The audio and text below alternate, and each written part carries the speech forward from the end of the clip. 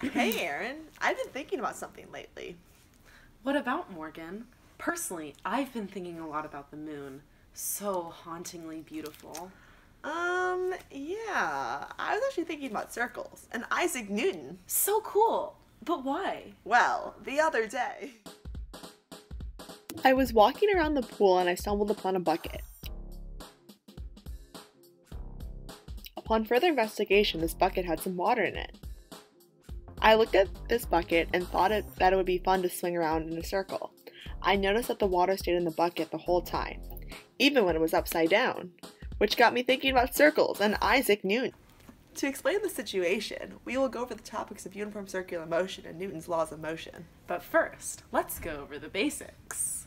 Newton's second law describes the relationship between a force, mass, and acceleration. This equation is F equals ma. Newton's third law describes the relationship that forces have on each other. This law states that every action, a force, has an equal and opposite reaction. When an object moves in a circular motion, we think of the net force as the centripetal force. The centripetal force always points toward the center of the circle and keeps the object moving in a circular path. The acceleration of an object moving in a circle will be equal to v squared divided by r. Let's take another look at the spinning bucket and see what's going on.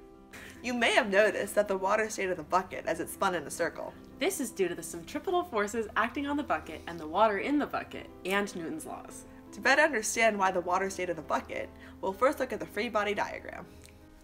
A free body diagram models the problem that we're looking at by drawing all of the forces acting on the object.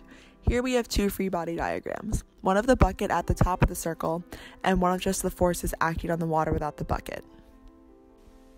The forces acting on the water and the bucket at the top of the circle are the forces of gravity and tension. We can say that the net force is equal to gravity plus tension. Using Newton's second law, we can write that the mass of the bucket and the water times the acceleration of the bucket, v squared divided by r, is equal to the force of gravity plus the force of tension.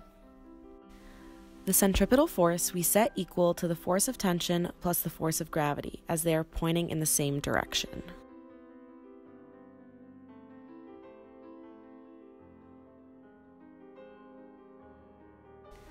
Between the bucket and the water, there exists a normal or contact force.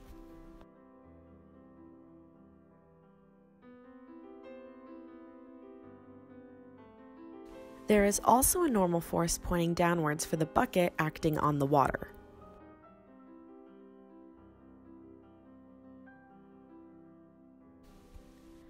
Force of tension is equal to the normal force of the bucket on the water because the tension is what is causing the contact between the water and the bucket at the top of the circular trajectory.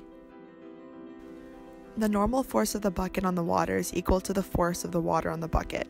Thus, the water is being compressed into the bucket. Because the mass, the radius, and the force of gravity all remain constant using our first equation, you can see that as the velocity increases, the normal force of the water on the bucket also increases. If the velocity is high enough, the compression of the water will keep it in the bucket.